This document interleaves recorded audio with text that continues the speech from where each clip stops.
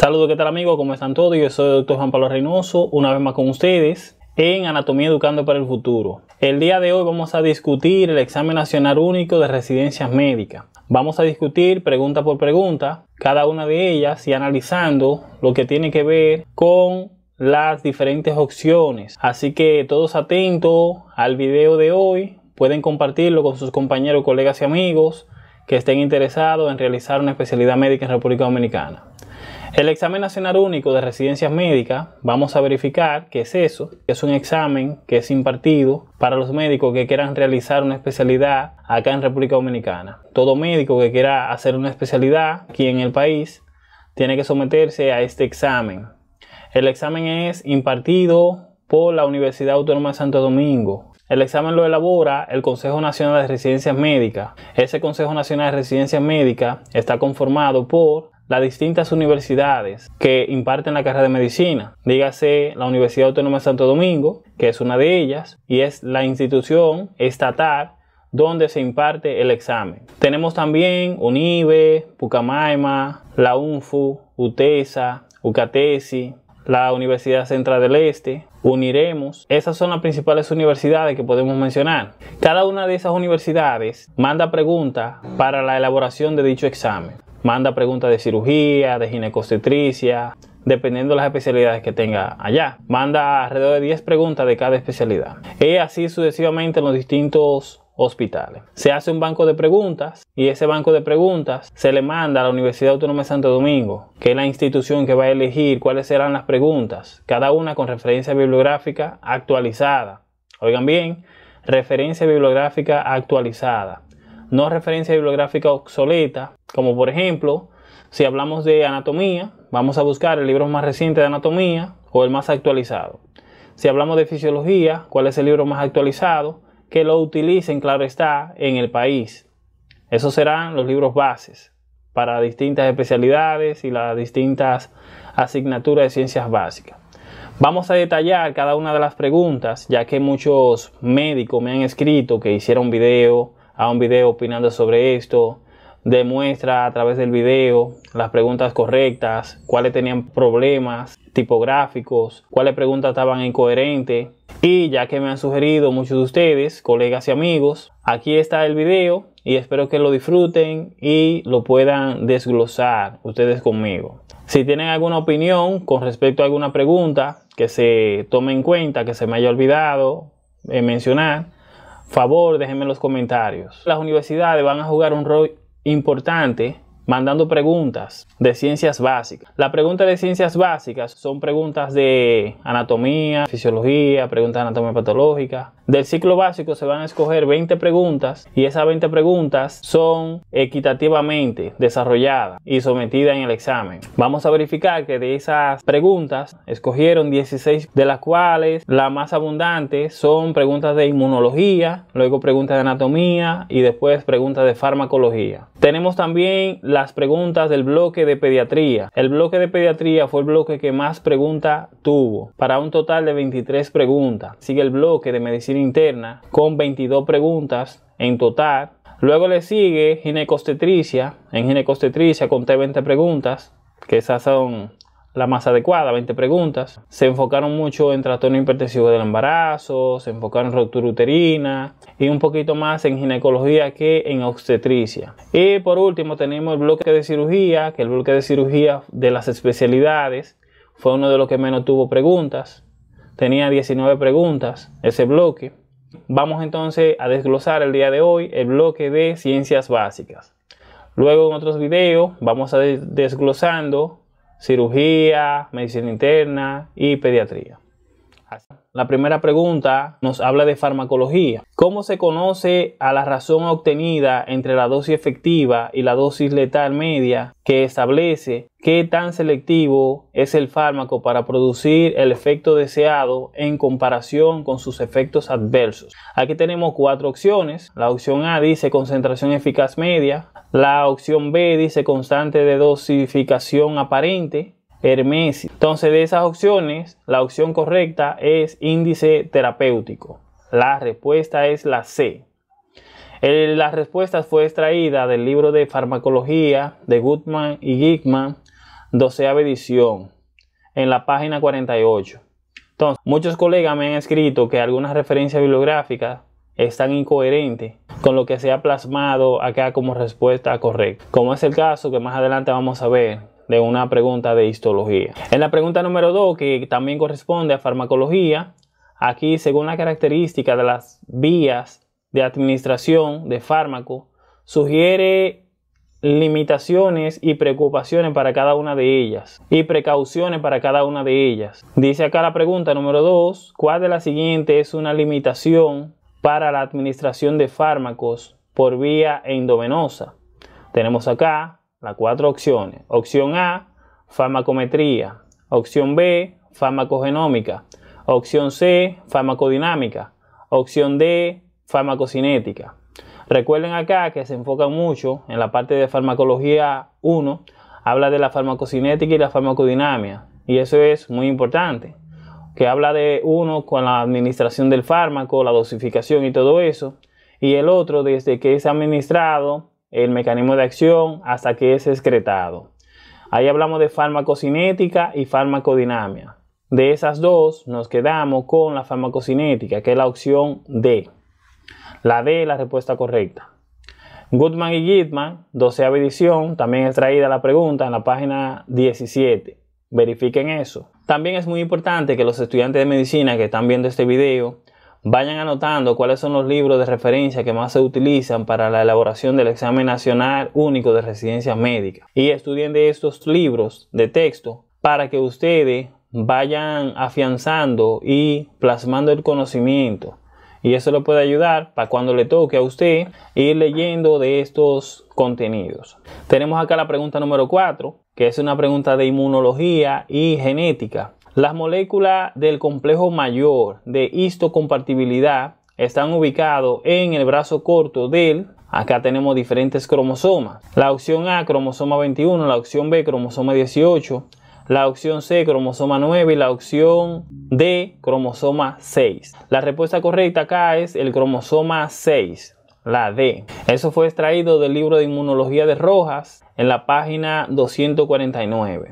Pasamos ahora a la pregunta número 6. Esa es una pregunta que la vamos a agregar en el tema de embriología. El origen embriológico del lóbulo piramidal de la glándula tiroide está dado por cuál de las siguientes estructuras. Esto es lo más básico debería de ser extraído del libro de embriología de Latman, no de un libro de cirugía, ya que el libro de cirugía es un libro de especialidad específicamente para hablar de procedimientos quirúrgicos y eso, pero de ahí extrajeron la respuesta correcta en la página 38. Las opciones son conducto tirogloso, la A, la B, cuarta bolsa faríngea, la C, folículo tiroideos y la D, primordio tiroideo medial. La respuesta correcta de esta es el conducto tirogloso. Tenemos acá otra preguntita. Esta pregunta es de semiología médica. ¿Cuál de los siguientes signos físicos es diagnóstico de neuroperitoneo? Miren bien esto. Neuroperitoneo, eso es una palabra incorrecta, mal escrita.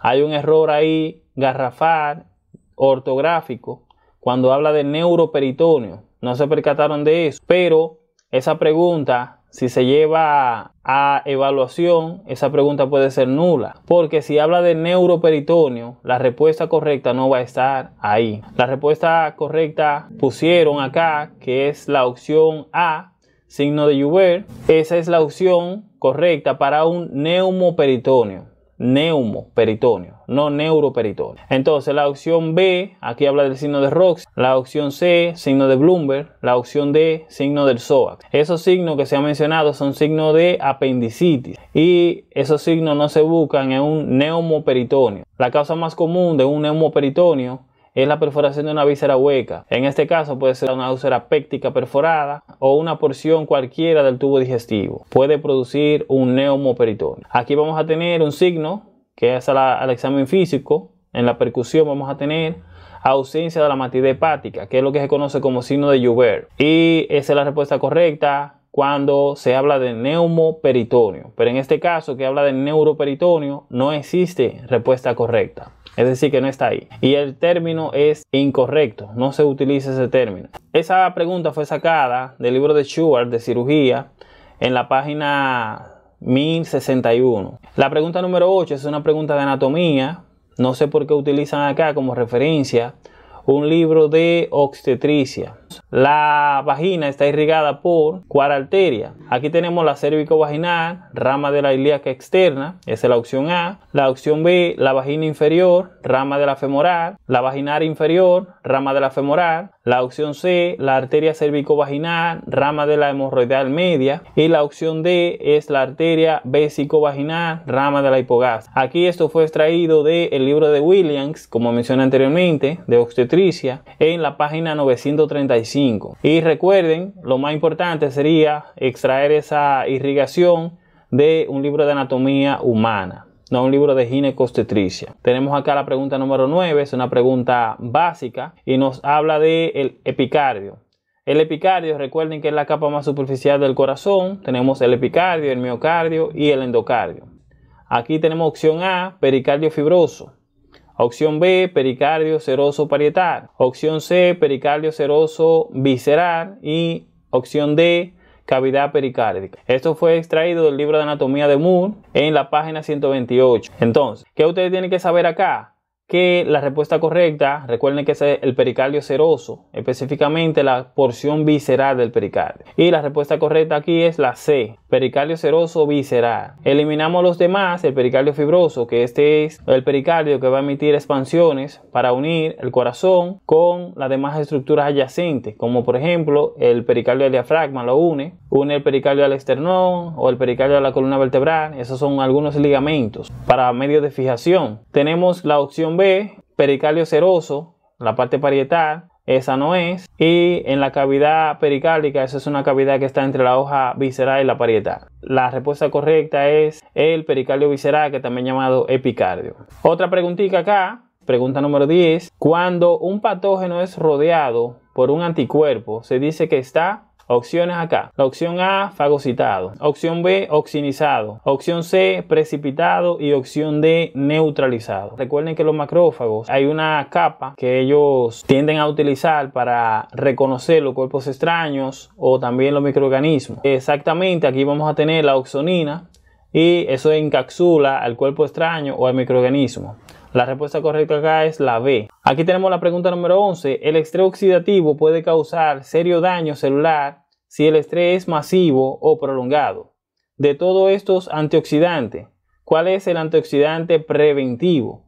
Aquí tenemos diferentes opciones. La opción A, glutatión peroxidasa. Opción B, peróxido, dismutato. Opción C, urato. Y opción D, vitamina E. Aquí tenemos que la respuesta correcta es la A, según el libro de bioquímica de Harper en la página 128. Eso es lo que tenemos acá. Bioquímica de Harper, página 128, que menciona que el glutatión peroxidasa no vamos a ir a esa referencia, traten de ir a la referencia. Si usted tiene alguna duda, si no está esa respuesta, usted puede apelar para que le pongan la respuesta correcta. Si usted puso vitamina E o urato, dependiendo de lo que diga referencia, usted va a apelar. Aquí tenemos, ya hablando de eso, de referencia, el origen embrionario de las estructuras oculares individuales varía. ¿Cuál de las siguientes estructuras deriva del ectodermo de revestimiento? Aquí tenemos diferentes opciones. Tenemos el nervio óptico, epitelio de la retina, estroma de la córnea y el cristalino. Si no podemos analizar, aquí la respuesta correcta no es el nervio óptico como pusieron. Si analizamos bien, mencionar que el cristalino puede ser la respuesta correcta si se van a la referencia bibliográfica. Es decir, que la corrección que se ha hecho acá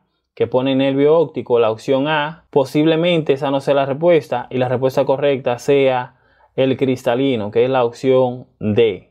Así que verifiquen bien esa. Si estoy equivocado, déjenme sus comentarios y qué opinan sobre eso. Eso fue extraído del libro de Ross, Histología, en la página 969. Verifiquen eso y me escriben si está correcto o no lo que estoy diciendo. Va a haber un cuadro en la parte inferior de esta página y ahí habla del origen embriológico de cada una de las estructuras. Así que ya saben. La pregunta número 3 es una pregunta de neuroanatomía. En el círculo arterial del cerebro, es el polígono de Willis. ¿Cuál de las siguientes arterias penetra en la cavidad craneal? A la altura del extremo anterior del seno cavernoso, medialmente a las apófisis clinoides anteriores. Aquí tenemos las diferentes opciones. Vamos a ir descartando, inmediatamente vamos leyendo. La opción A, arterias vertebrales. Si bien es cierto, Menciona acá que la siguiente arteria penetra la cavidad craneal a la altura del extremo anterior del seno cavernoso. Las arterias vertebrales penetran la cavidad craneal, pero no a la altura del seno cavernoso. Descartamos esa opción. La arteria basilar. La arteria basilar no penetra la cavidad craneal, ni mucho menos el seno cavernoso. Ella se forma dentro de la cavidad craneal. Descartamos esa opción también. Aquí tenemos la opción C. Las arterias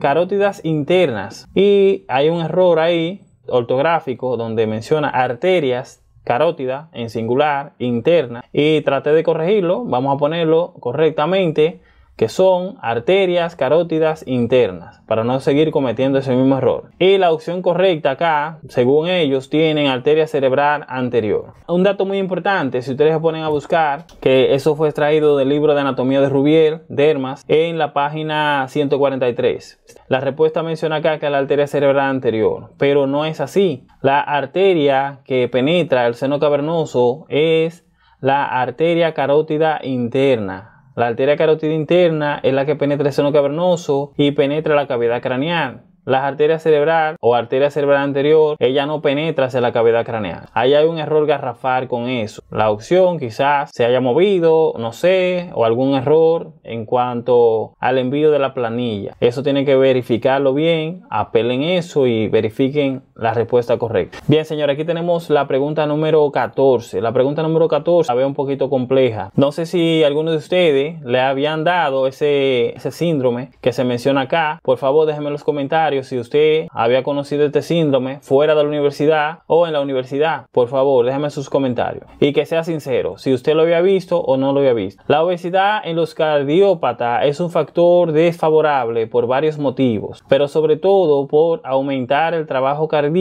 sin fin alguno. Puede haber somnolencia, ligera cianosis central y signo de sobrecarga de cavidades derechas por hipertensión pulmonar. Aquí tenemos cómo es conocida esta condición. Tenemos diferentes opciones. La opción A, síndrome metabólico. La opción B, síndrome de Pickwick. La opción C, tenemos el síndrome antifosfolipídico. Ese sí lo conozco. El síndrome de fatiga crónica. También conozco ese. Y el síndrome metabólico, que es el síndrome X. Entonces, eso fue extraído del libro de semiología médica de Argente Álvarez. Me gusta ese libro, Argente Álvarez, habla muy buenos contenidos, pero ese síndrome de sinceridad no lo había conocido. Está en la página 328. Aquí tenemos que la respuesta correcta es el síndrome de Pickwick. La opción B es la respuesta correcta, según lo que tenemos acá. Aquí tenemos la pregunta número 15. ¿Cuál de las siguientes hormonas estimula la contracción de la vesícula biliar y por ende el paso de la bilis al duodeno? Este tema yo lo estuve hablando en vías biliares y le hablé específicamente de una sustancia que es producida a nivel del duodeno por las células I. Y aquí tenemos las opciones. Entonces tenemos la somatostatina que es la opción A la motilina que es la opción B la gastrina que es la opción C y la colecitoquinina o colecitocinina que es la opción D.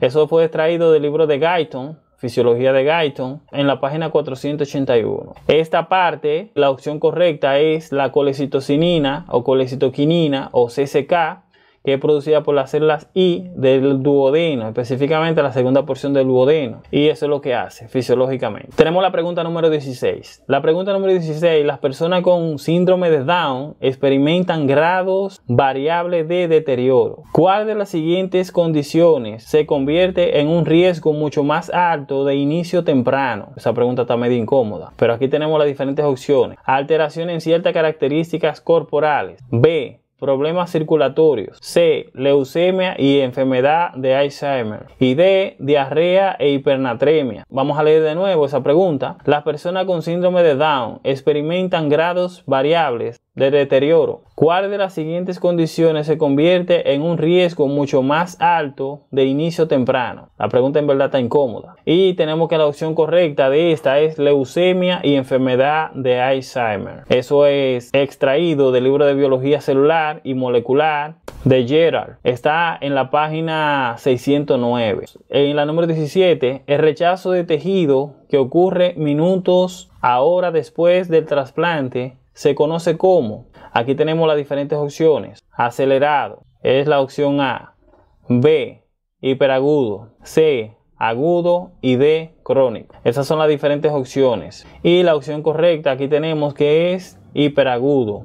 Es la opción correcta en este caso. Eso fue extraído del libro de inmunología de Rojas, en la página 546. Otra pregunta, la número 18. En condiciones estándar, cuando los niveles de adenosin difosfato o ADP son bajos, las mitocondrias suspenden la oxidación de los sustratos. Existen algunas enfermedades provocadas por el mal funcionamiento de las mitocondrias. Ahora una pregunta, ¿cuáles de las siguientes enfermedades es producida por un mal funcionamiento de las mitocondrias que causan la muerte durante la lactancia? Tenemos acá la opción A, convulsiones y accidente cerebrovascular. La opción B, proceso virales y bacterianas. La opción C, diarrea y vómito. La opción D, deshidratación y fatiga. La respuesta correcta que ponen acá, convulsiones y accidente cerebrovascular. Estas enfermedades producidas por un mal funcionamiento de las mitocondrias pueden causar la muerte durante la lactancia.